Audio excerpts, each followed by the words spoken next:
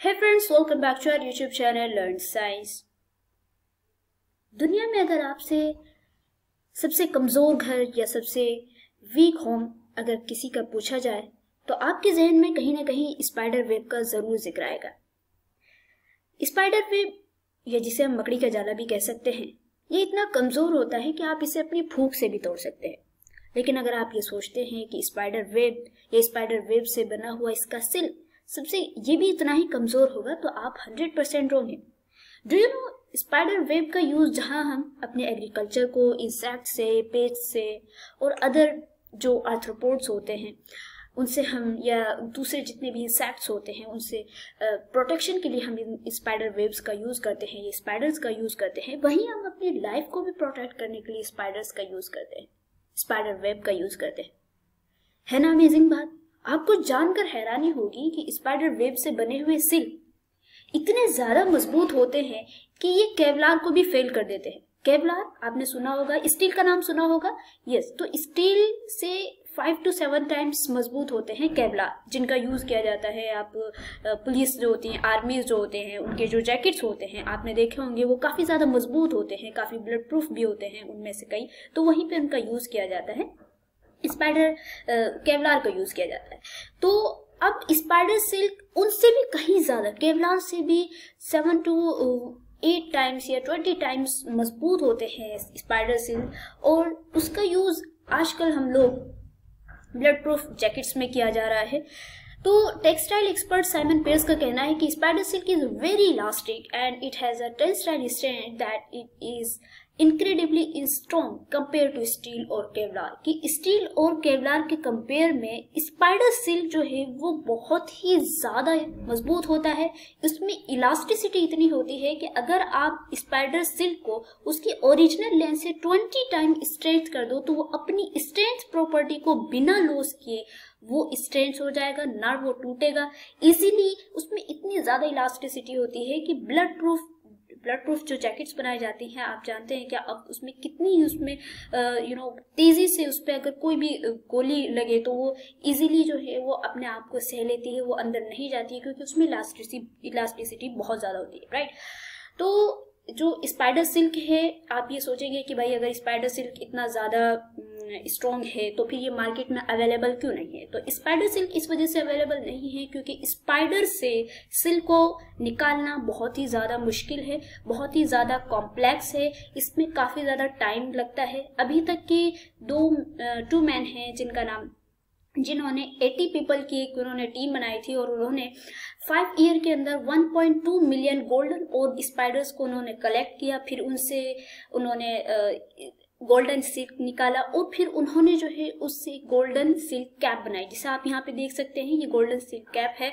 ये अभी तक के original original natural spider silk से बने हुए सबसे बड़े क्लोथ है, जिसकी जो लंबाई है वो 3.4 मीटर है और जो चौड़ाई है वन वो है 1.2 मीटर ठीक है?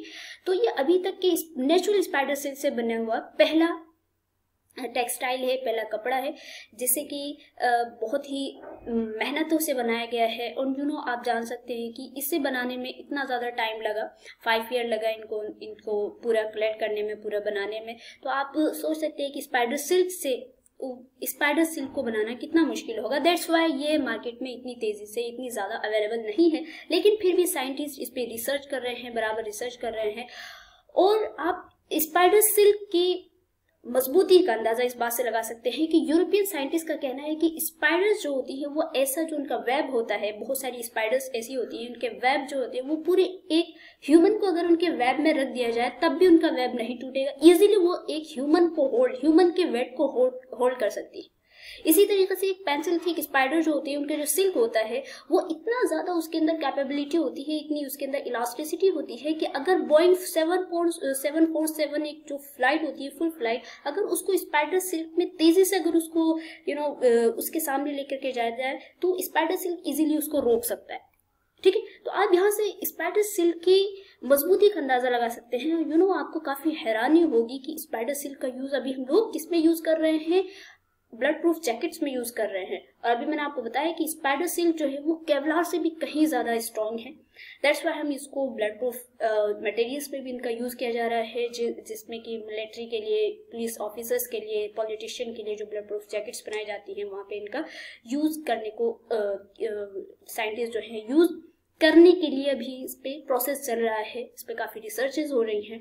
और चूँकि स्पाइडर्स से सिल्क को निकालना बहुत ही कॉम्प्लेक्स मटेरियल है. दैट्स वाई बायोटेक्नोलॉजी की हेल्प से हमने हमने क्या साइंटिस्ट ने लैब में ऐसी गोड तैयार की है, जो कि यू नो साइंटिस्ट ने ये देखा कि स्पाइडर जिस प्रोटीन से, जिस जीन से अपने डीएनए की, उन्होंने डीएनए लिया स्पाइडर का, और उस डीएनए में जो जीन रेस्पॉन्सिबल थी उस प्रोटीन को बनाने के लिए जो कि इतनी ज़्यादा मज़बूत होती है, जिससे स्पाइडर जो है वो सिल्क बनाती है, वो ऐसा प्रोटीन बनाती है जो इतनी, जिसमें इतनी ज़्यादा इलास्टिसिटी होती है, इतनी स्ट्रेंथ होती है तो उस प्रोटीन को उन्होंने वहाँ से एक्सट्रैक्ट किया और उनको उन्होंने इंसर्ट कर दिया एक गोट में, यानी कि एक ट्रांसजेनिक उन्होंने गोट बनाई लैब में, और अब वो गोट जिसे ट्रांसजेनिक गोट कहा जाता है, वो ट्रांसजेनिक गोट जो मिल्क दे रही है या जो उसके हेयर्स उसके जो बाल हैं गोट के ऊपर यहाँ पे बाल होते हैं आपने देखा होगा।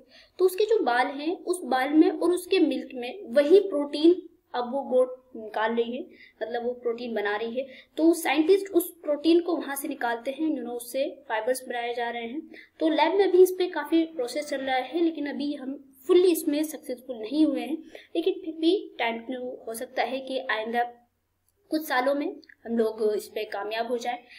तो आई होप सो आपको आज की वीडियो एंड यू नो आप, आज की नॉलेज आपको सुन करके काफ़ी मज़ा भी आया होगा। तो मिलते हैं जल्दी अगली वीडियो में। अगर आप हमारे चैनल पर न्यू हैं तो हमारे चैनल को सब्सक्राइब कीजिए, वीडियो को लाइक कीजिए साथ साथ अपने दोस्तों को जो सेवन क्लास में एट क्लास में ज़रूर शेयर कीजिए। मिलते हैं जल्दी अगली वीडियो में एक नई अमेजिंग वीडियो के साथ। Bye bye